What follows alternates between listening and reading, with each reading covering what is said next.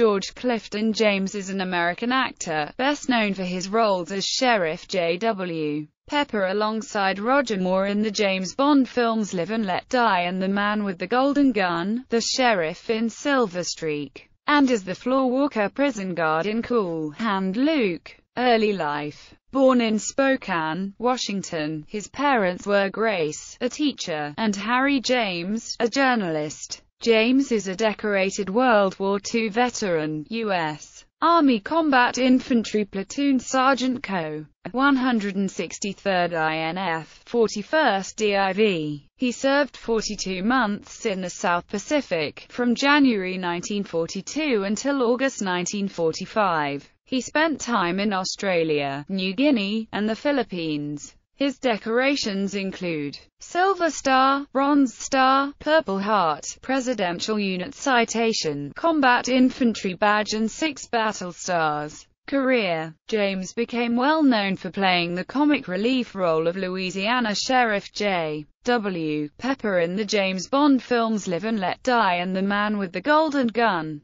He also played a very similar character in both Superman 2 and Silver Streak, and a more serious sheriff in The Reivers. James was the district attorney who prosecutes Al Capone in the 1987 film The Untouchables. He played a Navy Master-at-Arms in 1973's The Last Detail starring Jack Nicholson and Chicago White Sox baseball team owner Charles Comiskey in the 1988 true story Eight Men Out a drama about the corrupt 1919 Chicago White Sox. Despite being a lifelong New Yorker, James has been cast as a Southerner in many of his roles, like his appearances in the James Bond films, and also powerful Houston lawyer Stryker Bellman in the daytime soap opera Texas from 1981-82. He was a Southern character as the penitentiary's floor walker in the Paul Newman film Cool Hand Luke, and again as Sheriff Lester Crabb,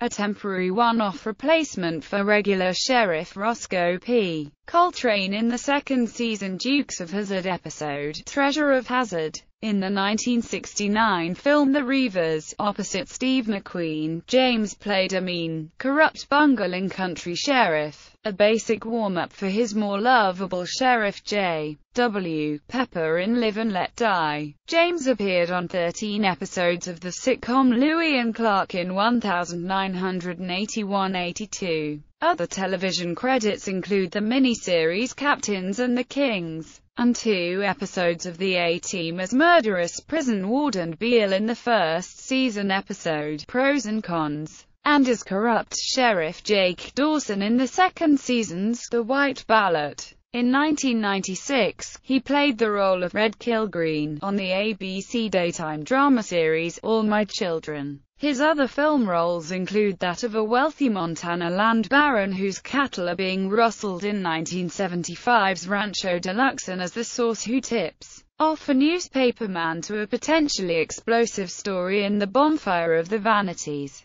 James has been featured a number of times by writer-director John Sayles, most recently in Lone Star and Sunshine State. Personal life He resides in New York City with his wife of more than 60 years. He has six children, 14 grandchildren and three great-grandchildren. Selected filmography The Strange One, The Last Mile, Something Wild, David and Lisa, Experiment in Terror, Invitation to a Gunfighter, The Chase, The Happening, The Caper of the Golden Bulls, Cool Hand Luke, Will Penny, The Reivers, Tick Tick Tick, WUSA, The Biscuit Eater, The New Centurions, Kid Blue, Live and Let Die, The Werewolf of Washington, The Iceman Cometh, The Last Detail, The Laughing Policeman, Bank Shot, Buster and Billy, Juggernaut, The Man with the Golden Gun, Rancho Deluxe,